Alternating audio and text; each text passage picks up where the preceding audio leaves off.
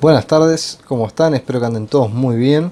Bueno, hoy venimos con el último capítulo de Windows 10, tal como lo comentamos en el capítulo anterior, y hoy vamos a venir a hablar de cómo migrar eh, legalmente una máquina que tenga Windows 7 con licencia o una máquina que tenga Windows 8.1 u 8.0 con licencia, cómo migrarla a Windows 10. Bien, el proceso es muy sencillo eh, simplemente tienen que seguir los pasos. Les voy a dejar el link de la descarga en la descripción del, del video. Y bueno, siguiendo esos pasos eh, van a poder actualizar la máquina, la misma va a quedar con la licencia activada y recuerden luego de eso realizar todas las, actualizaciones, todos los updates que tenga el sistema. Bien, antes de comenzar la actualización yo les recomiendo que actualicen su sistema actual, que lo actualicen a lo último. De esta manera van a lograr que demore menos y que no tenga fallas. La segunda recomendación que les hago es por las dudas si pueden hacer un respaldo en un disco externo USB o en una unidad eh, secundaria que tengan en la computadora, que lo hagan a modo de prevenir. Eh, las migraciones que he hecho nunca ha presentado fallas, pero con todo esto que saben que pasó con la última actualización de Windows, que se perdieron archivos, hubo gente que tuvo problemas con la pérdida de documentos o algo, nunca está de más realizar un respaldo, una copia de nuestros archivos importantes y recuperables eh, a otra unidad o a un disco externo. Bien, bueno, ahora sí. Eh, como verán acá, ya está la página de la descarga, la cual, como les digo, les voy a dejar el link en la descarga, en la descripción. Y acá tienen este botón que dice descargar la herramienta ahora. Bien, esto es una simple herramienta, la vamos a descargar, es chiquita como ven. Vamos a ejecutarla, la pueden encontrar en descargas.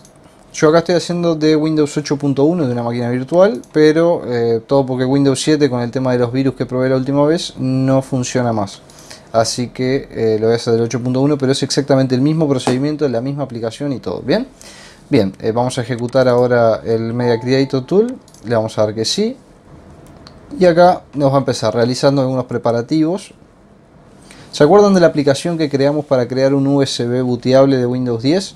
Bueno, esta es la misma aplicación, pero ahora en vez de crear el medio, le vamos a decir que haga la actualización. Bien, acá le vamos a tener que dar a aceptar.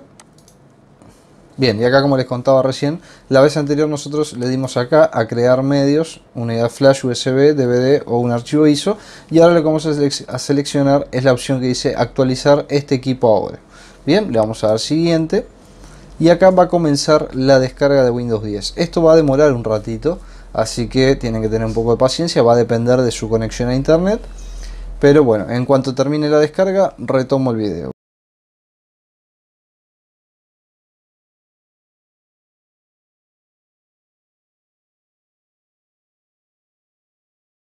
Bueno, continuamos con la instalación. Eh, como ven acá, ahora lamentablemente a mí me saltó que la clave del producto de Windows 8 la debo introducir, dado que no es un Windows activo, es un Windows que tengo con eh, una licencia de educación, o sea de 180 días de trial, y no me permite actualizar a Windows 10. Este problema ustedes no lo van a tener debido a que sus Windows seguramente están activos, a menos que tengan licencias que la estén formateando e instalando la máquina cada 180 días de nuevo, ¿bien? Como vieron anteriormente, luego de que terminó la descarga, comenzó la creación del medio, eso lo hizo solo, no hay que apretar ni siguiente ni nada, lo hace solo. Termina la descarga, comienza la creación del medio. Luego, si no tienen el problema este que tuve yo con, la clave del producto, automáticamente acá les va a decir actualizar ahora y simplemente seleccionan actualizar ahora y les va a decir la misma recomendación que yo les hice de respaldar la información les va a avisar de qué carpetas van a ser movidas de un lado a otro o lo que sea. Simplemente tienen que leer lo que les dice, que son tres o cuatro tips, nada más, y le dan actualizar ahora. La máquina se va a apagar, va a demorar unos 40 minutos más o menos según la velocidad de cada equipo, pero aproximadamente unos 40 minutos va a actualizar todo el equipo y ya va a iniciar con eh, Windows 10. Bien, eso es todo el video por hoy. Eh, con eso ya van a poder actualizar Windows sin ningún problema. Eh, así que bueno, está.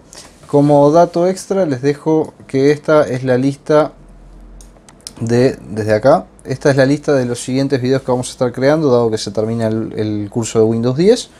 Y, bueno, si tienen alguna preferencia por cuál quiere que empecemos, nos lo hacen saber en los comentarios y le damos prioridad para arrancar con ese video. Bien, bueno, la palabra de la semana, ya que no lo dije al inicio, es la siguiente, la anterior, y acá les dejamos la palabra de esta semana. Esperamos que tengan un buen fin de semana y si ya podemos subir algún video el fin de semana, lo haremos. Si no, nos reencontramos el martes con el curso de Excel. Que pasen muy bien y muchas gracias a todos. Si todavía no están suscritos, no olviden suscribirse, dejar un comentario, una manito arriba si les gustó el video y nos vemos en el próximo video. Que pasen muy bien. Hasta luego.